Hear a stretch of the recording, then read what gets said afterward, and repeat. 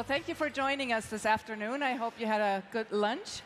And um, we're very happy to be here and discuss diversity in data.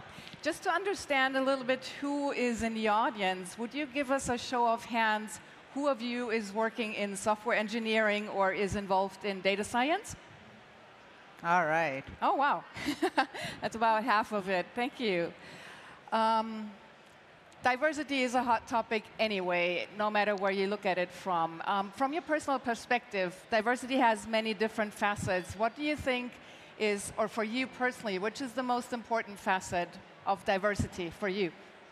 Yeah, so um, firstly, very thrilled to be here um, and talking to all of you. And, and uh, Britta, you know, diversity has multiple connotations, as you, as you rightly pointed out.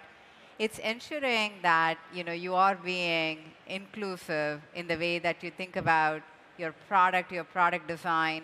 Many of you are software engineers and data scientists, and it's, so it's critical to ensure that you know you're defining a product that's actually being built that can service different stereotypes and, and different types of customers. Okay. I mean, yeah, if you look at diversity, you, you have the facets of, of course, we have gender, we have ethnicities, we have religion, we have different backgrounds. How does it all play? Um, what role did it play in your life? What experience did you have? Yeah, so, uh, Britta, you know, there's some statistic that's out there. Those of you that are wondering, you know, why is diversity and inclusion such a big deal when it comes to product design and software engineering? There are actually proven studies that show that you know the, the efficacy of your product and the productivity of your organization goes up, and, and the metric says 48% if you incorporate gender diversity, and something like 40% if you incorporate diversity along other facets, right, such as ethnicity, nationality, um, sexual orientation, and things of that nature. So statistics apart, you know, there is actually a lot of merit. There are very good business reasons why you need to incorporate diversity in the way that you do product design. I mean, you started your career in software engineering, Radhika, um, a few years ago. what changes did you see with regard to diversity that came about since you started as a software engineer? I think the biggest, uh, that's a great question, right? Because software engineering itself, as many of you know, you know, especially those that have been around uh, a couple of decades, know that software engineering has evolved dramatically in the last, last few decades, right? And, and so, in particular, if you think about you know, constructs like um, AI and ML and the impact that it has on outcomes, um, in the society in terms of decision making that happens that are being influenced by AI and ML, um, I think that's probably by far the, the biggest transformation that has taken place. Okay. Well, you were just mentioning AI. This is also coming into our everyday lives. And um, we, as um, people, we face different challenges. I mean, climate change is coming. We have a growing population on the earth that we need to solve how we feed them in the future. We have educational, we have financial divides that are growing bigger. Can you give us a few positive examples where software engineering has helped to increase diversity and the approach and has helped um, um, different projects to create a success story?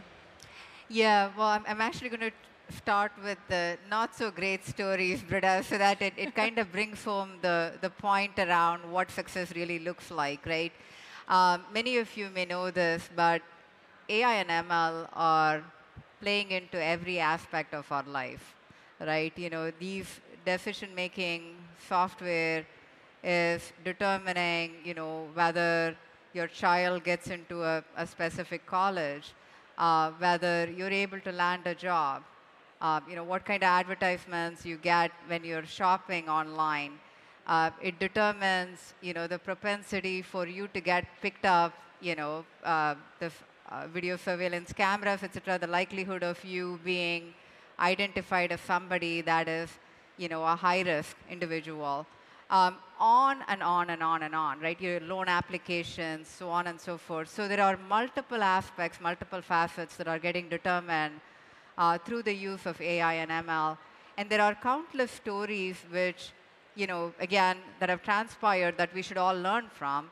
Uh, many of you may or may not recall this, but Amazon actually had a, a, a job resume filtering application based on AI and ML that would essentially was built off of historical data of successful Amazon employees, which, surprise, surprise, happened to be predominantly male. And so this resume filtering application would categorically look for anything that alluded to a, a, a women's college or a women's sport and filter out all those resumes, right? And, and so now you have this very uh, tricky situation where you know you're you're propagating a uh, you know like essentially an all male environment. Now, luckily, Amazon was able to flag it sufficiently ahead and, and was able to address some of those biases.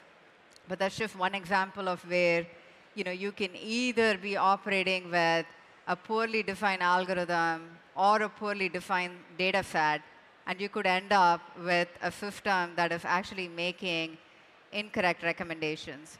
Now, one other example that's also at the scary end of the spectrum is where you know autonomous driving vehicles have been predominantly, you know, especially in frontal crashes, have been designed for, you know, the male body, right? And and and so you know when these systems are are you know when these frontal crashes happen to women uh, or people that are you know like just have a different genetic uh, disposition or, or, a body disposition, it ends up having you know untoward um, uh, developments. And so you know the, the point of this is you can actually design a system that is uh, that can lead to undesirable consequences, potentially life-endangering consequences. And so it is critical that you know AI be applied the right way. Now I'll get to the question that you asked, which is you know, what is an example of a story that is a success story? Um, you know, we, uh, uh, uh, part of my employer works, uh, you know, we're, we're, headquartered out of Japan. You know, lots of bullying happening in middle schools in Japan.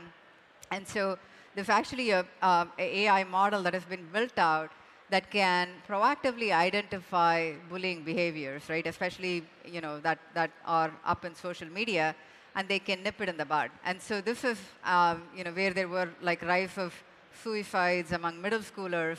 You know, that trend has actually been clamped down because of the way that uh, the AI has been implemented. So some really great stories. I think there's a ton of potential. The key is to ensure uh, the model that you build uh, incorporates that diversity. That, that is a wonderful project that you just mentioned. I'd like to go back to the, um, to the automotive, because I have a history in, uh, in the automotive business. And I know about the trolley dilemma. So how can we solve this? I mean, there's a lot of um, software going into the cars, into the autonomous driving cars, and um, how can we teach the software to make a decision like a human would make it?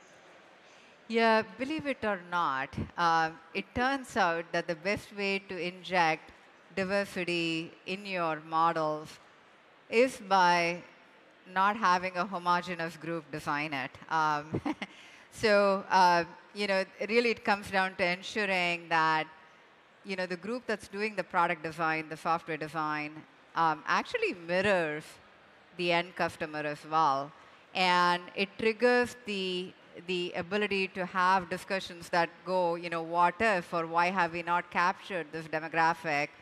Um, and so that is a key first step, Britta, is just making sure that you have diversity in your teams.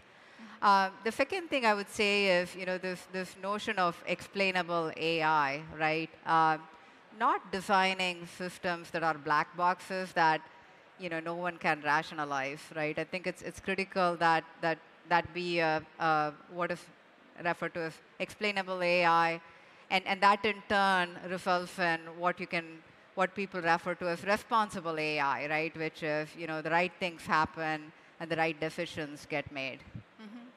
Talking about right decisions, I think there's also an application for smart farming where um, AI can support. Can you elaborate on this a little bit? Oh yes, um, there are multiple applications, you know, that that come through from uh, AI, and and some of these are fairly interesting. I think the one that you're referencing in particular is what we refer to as a better banana. Um, and so, you know, uh, believe it or not, there is banana farming that happens where, you know, you actually have the ability to optimize the environment and, you know, do the right type of water irrigation and so on, leveraging AI techniques. Um, later today, we're going to be talking about, you know, the, the opportunity to minimize uh, logging. You know, there's obviously a lot of focus around sustainability, minimizing our carbon footprint, and so on. There are very many environmental applications that benefit from, from AI, right? And in particular, we're going to be talking about how you can leverage bioacoustics data from the Amazon rainforest and you know you can apply AI techniques to it to figure out whether you know there is the risk of logging that is likely to occur, yeah. or if a particular species uh, is you know to the point of extinction, right? So I this just huge number of applications that that straddle all aspects of this. Yeah. I, I think it's so important, Radhika, that we have examples like the smart farming or the rainforest um, to tell to the, to the world and to people who are not in software engineering, who are not working in data science, because I know a lot of people, one of my friends, he loves bananas, but he doesn't like AI. I mean, it, when he hears AI, it's like Terminator, Doomsday. But if he heard about an application where AI really helps him to get his bananas on the breakfast table, um, he would have a different look on, on uh, the possibilities that we have with software engineering. So when we talk about diversity in data, who is responsible for integrating diversity in data? What do you think? I mean, there's so many different groups involved in creating applications. Is it the responsibility of all of them or of a certain group? Is it leadership? I think it's everybody's responsibility, seriously. Um, I know the regulatory uh, governance around AI is just emerging, right? You know, there are obviously uh, government mandated requirements that are, you know, fairly nascent today. And so in the interim, I think it's incumbent on every one of us uh, to ensure that what we're building is truly responsible AI. Right. I mean, if we look at it from a global point of view, do you see any differences in how diversity in data is implemented on a global scale? Do we have countries that are um, embracing it more and faster than other countries? What's your um, view on this? Yeah, I think it's fair to say that Europe is maybe a little bit further ahead um, than the Americas and, and Asia Pacific, but in general, I don't. The the area is still, you know, it's it's evolving, it's emerging, and I think given the very wide-ranging ramifications and implications of this, um, its regulation is, is going to be pretty challenging, and I think will will continue to be work in progress for the for the near future. Right. I was thinking, and um, I'd be interested in learning your opinion on this, Radhika looking at the pandemic, you know, companies have gone to remote work and in, including employees from different locations. Doesn't this help us also to increase diversity in data because we're employing people that are maybe not local to our place but are come from different areas and then have a different vantage point on things? Yeah, I, I, think those of us in software engineering already know this COVID pandemic has dramatically changed the way that you know, I, you identify, you onboard, you, you reskill, and, and the way that you develop talent. And for sure, uh, Britta, I think that is leading to certain opportunities where, um, you know, the hybrid mode allows us to be able to recruit talent uh, that we would otherwise not have gone after. Uh, I think it's a great opportunity, really, for everybody in software engineering to take advantage of and to ensure that not only that diversity in gender, but, but also across the other aspects get reflected in the way that, that teams get built out. Yeah. So if we imagine that you'd be speaking at Collision um, next year again, what would you like to be able to report on? What applications would you love to see to come into the market in the next year? I think it would be great to be able to come back with more success stories, right? And, and there are, you know, to be fair, there are very many out there. Uh, but I think a lot of this comes about from institutionalizing that knowledge, having some structure behind it, having some rigor to it, And then we talked about things like regulation and so on. But I think it's incumbent on the software engineering industry to A, recruit for diversity, and B, ensure that you know, the, the models and the software and the products that we build reflect and capture that diversity as well. So that's what I, I think it would be wonderful to be able to get back in here and talk about you know, how some of those metrics have, have gotten better in the past year. Right. And uh, speaking about regulation, Radhika, how should we go about this? Does it have to be um, a government initiative? Can it be a nonprofit organization that drives this? Who would be best suited to drive the regulation in this field? Yeah, there are a, a few nonprofit organizations that have started to, uh, you know, really get very active in the space. And I, you know, as with any other topic, um, I think it's critical to ensure that we uh, embrace and support these nonprofit organizations. You know, governments can only go so far, and, and sometimes it tends to be a sledgehammer approach. Um, and so, you know, I would say it needs to be the collective responsibility for all of us in software engineering with those NGOs to ensure the right things happen. Okay. So as we're wrapping up this session, um, what kind of advice would you like to give to the audience or maybe a call to action when it comes to diversity in data? What can everybody contribute to it?